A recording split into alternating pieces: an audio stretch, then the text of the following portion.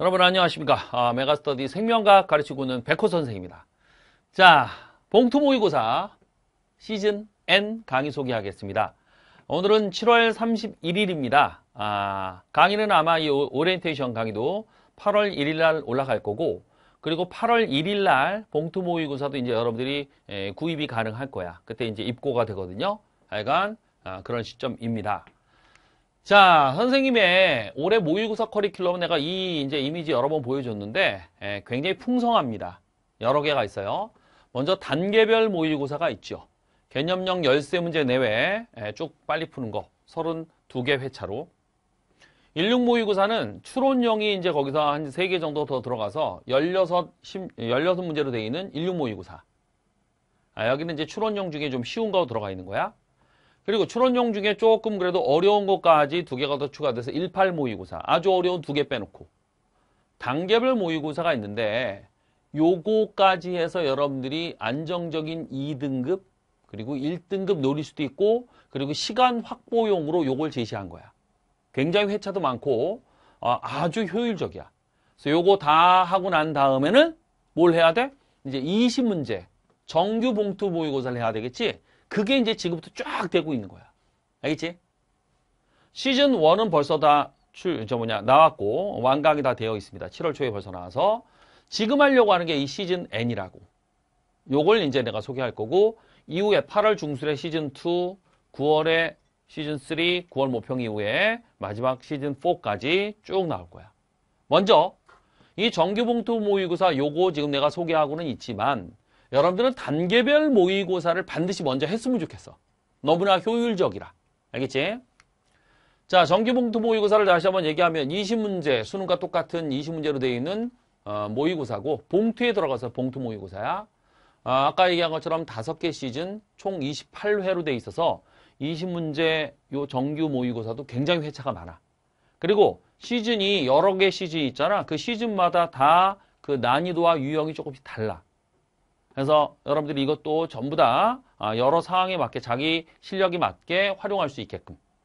그리고 한 시즌 내에서도 회차별로 난이도와 유형을 조금씩 다 달리해. 다양하게. 여러, 특히 올해 막 여러 교육 당국의 정책 변화 때문에 여러 변화들이 있잖아. 어떤 상황이 됐든지 간에 다 대비할 수 있도록. 여러 시즌, 여러 회차를 준비한 거야. 또 봉투 모의고사 이건 왜 하는 거야? 최근에 이 생명과학원이 전반적으로 어려워졌잖아. 올해 좀 쉽게 낸다라고는 해도 자 어려워졌기 때문에 가장 큰 문제가 뭐냐 그러면 시간 부족이야. 또 이 시간 부족 때문에 이렇게 더 만들어질 수 있는 실수 같은 게 있다고. 또 시험 보는 노하우, 시험 전략이 중요해. 그거를 실전 훈련으로 모의고사, 수능과 비슷한 그 수준의 고퀄러티의 문제로 여러분들이 연습을 해 놔야 등급이 떨어지지 않는다고. 오히려 잘하면 올라갈 수도 있고요. 그래서 굉장히 의미가 크죠. 자기 실력 점검할 수 있죠. 시기마다 어, 8월인데 9월인데 10월인데 내 실력 점검할 수 있고 그리고 이 모의고사를 통해 가지고 내가 틀린 문제나 틀린 부분이 있다 그러면 자기의 허점, 약점이 보인다고. 그걸 보완해 줄 수 있을 거야. 여러분들 일부 학생들이 모의고사 보고 내가 어, 목표는 1등급이었는데 30점대가 나서 너무 슬프다, 괴롭다 이런 친구들이 있는데 슬프고 괴로울 수는 있지만 오히려 이걸 긍정적으로 생각하라고. 이건 모의고사야. 훈련이라고. 여러분들의 약점을 노출시키는 게 오히려 좋은 그런 방향이 될 수 있어요.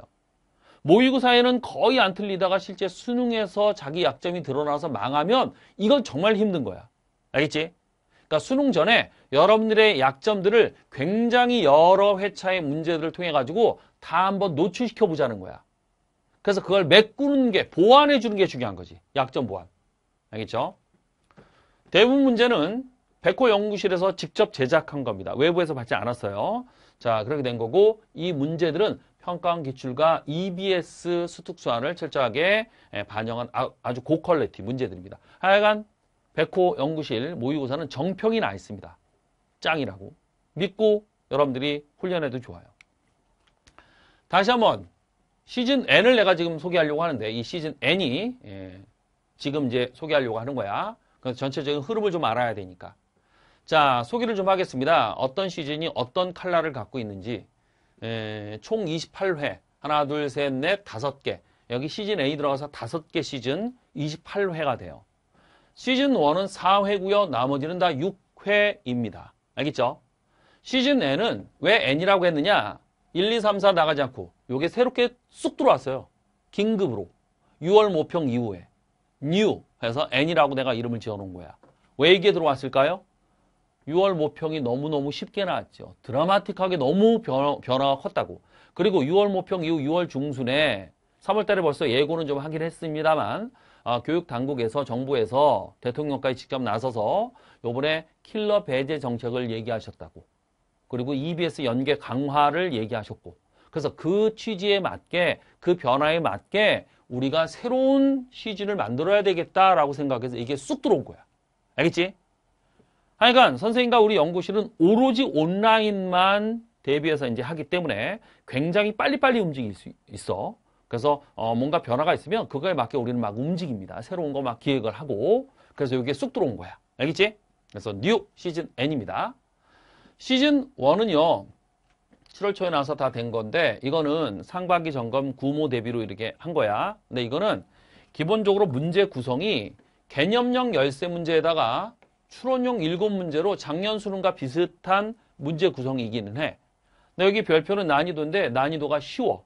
추론형도 쉽게 했다고. 알겠지? 약간 첫 번째 스텝이라 그렇게 해놓은 거고. 자, 그 다음에 원래는 시즌2로 넘어가는데 얘는 이제 난이도가 더 올라가긴 해요. 얘도 13 플러스 7로 이렇게 가. 나머지는 다 13 플러스 7이야. 근데 문제 난이도를 올려주는 것 뿐이지. 자, 근데 얘는 어떻게 되느냐? 얘는 15 플러스 5이거나 또는 14 플러스 6으로 할 거라고. 개념형이 15 내지 14문제, 추론형이 5문제 내지 6문제로. 추론형이 어려운 건데 이걸 이렇게 숫자를 줄였다는 얘기는 쉽다는 얘기지. 그렇게 구성했어. 왜? 지난 6월 모평이 15 플러스 5로 나왔거든. 그리고 킬러를 배제하자라고 했기 때문에 그것도 좀 반영하고 그래서 철저히 6월 모평 그리고 교육당국의 이 수능 정책 변화에 맞춰서 준비한 게 이거야. 알겠지? 그렇지만 시즌 1과 좀 비슷한 수준 난이도를 유지할 거야. 시즌 1은 벌써 풀어본 친구들이 있을 거야. 그거보다 좀 쉽거나 비슷하거나. 알겠지? 그래서 추론용들을 얘들보다는 숫자가 줄지만 그래도 조금 난이도가 있고 개념형들을 좀 다양하게 지업이라든지 방영국 그런 것도 좀 집어넣고 그래가지고 전반적인 난이도는 시즌 1과 좀 비슷하거나 조금 쉽게 그렇게 될 거야. 그리고 EBS 반영을 좀 많이 할 거고 요게 그렇게 나온 게 시즌 1이야. 알겠죠? 그래서 요게 이제 중간에 쑥 긴급 결정을 해가지고 들어왔기 때문에 그리고 좀 전반적으로 쉽기 때문에 6회나 되기, 되기는 하지만 가격을 여러분들 부담 갖지 말라고 시즌 1과 비슷하게 좀 해줄 거야. 원래 패키지로 이제 여러분 샀던 친구들도 있잖아. 근데 추가 부담하라 그러면 좀 그럴 것 같기도 하고. 어, 그리고 요게 이제 새로 들어왔기 때문에 이거 뭐야? 그런 친구들 혹시 있을까봐 여러분들 누구나 다 풀어보라고. 요건 좀 더 가격을 좀 다운시킬 거예요. 알겠죠? 어, 선생님이 이제 뭐 어떻게 보면 작은 배려일 수도 있어요. 참고하시고.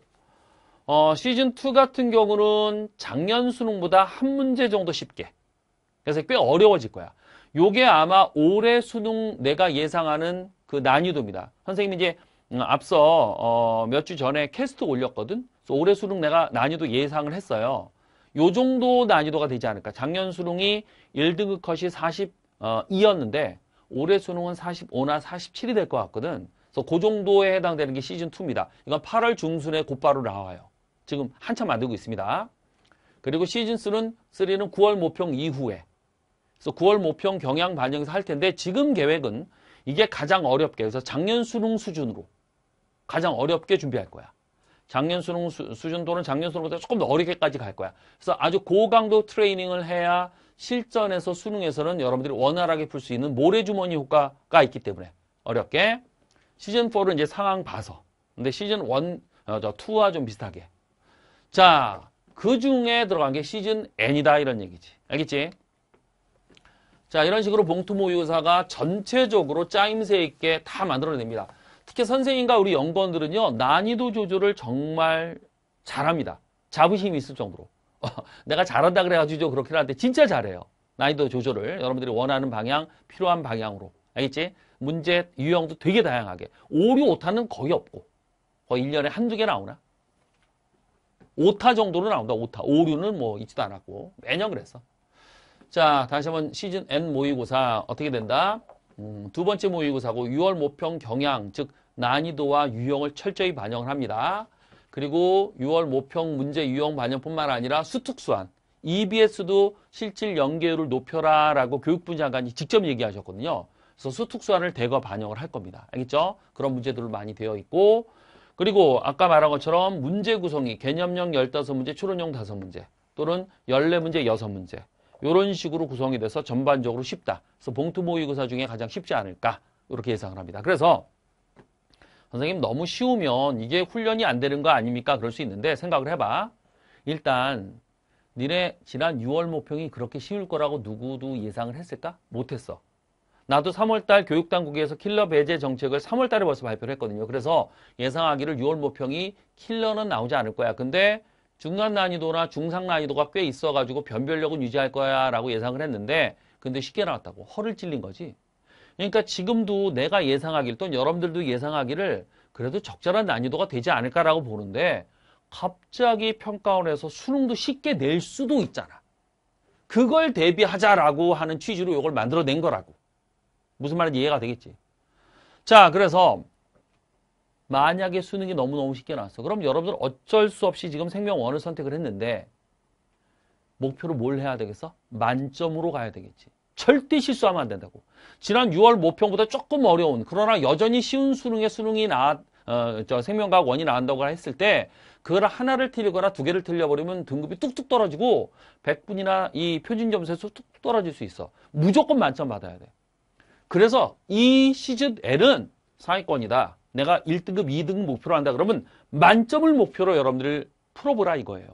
의미가 없는 게 아니라니까. 쉬우니까 이거 의미 없는 거 아니야. 절대 그렇지 않다고. 무조건 만점이야. 그리고 중하위권 친구들.